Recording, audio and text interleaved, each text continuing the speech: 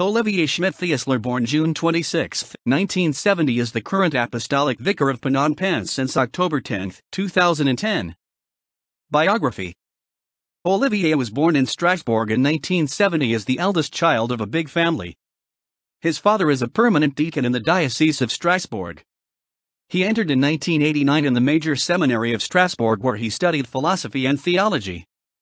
Between 1991 and 1994 he was coopérant in Japan for his civil service. Back to France he was ordained a priest for the Paris Foreign Missions Society on June 28, 1998 in the Strasbourg Cathedral.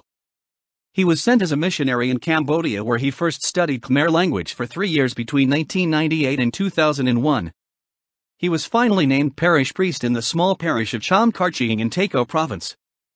Episcopal career the day before Christmas 2009, he was named coadjutor vicar of Phnom Penh in order to replace Bishop Émile Destombes, who was about to resign for age reasons.